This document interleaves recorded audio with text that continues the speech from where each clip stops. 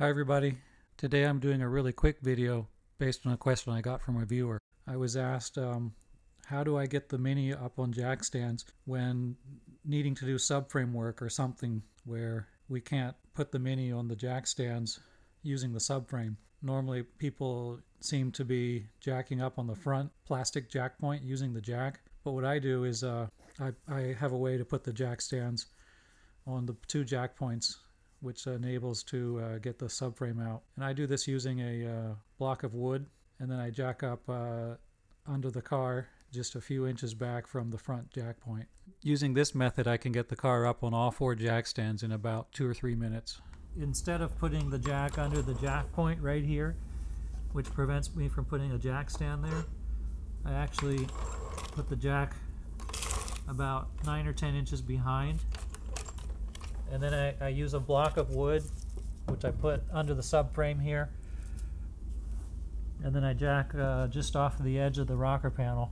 And I make sure to just back the jack up just enough that there'll be room to slide the jack stand in.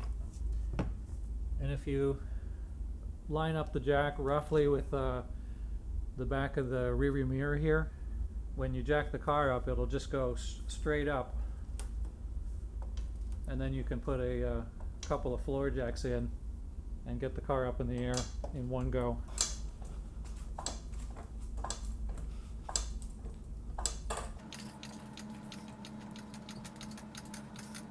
And so you can use a 2x4. If your car is slightly lowered, you might need a, a little bit thinner piece of wood.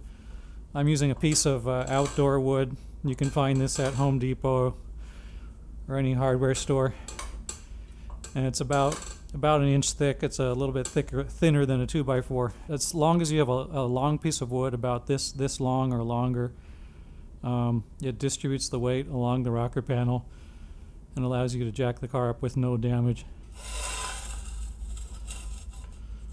Now we can just slide the jack stands in right under each of the jack points here.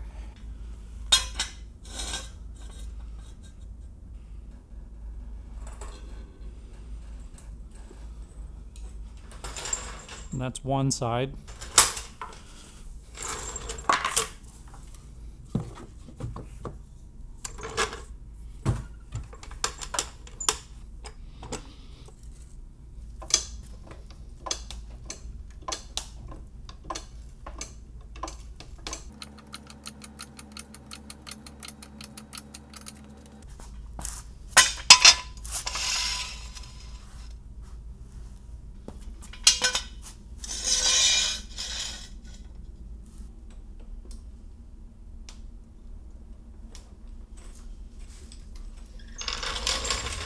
Once I've got both sides of the car jacked up, I like to go back to the first side, put the floor jack back in, just lift it up again one more time, just in case the jack went a little bit crooked on me.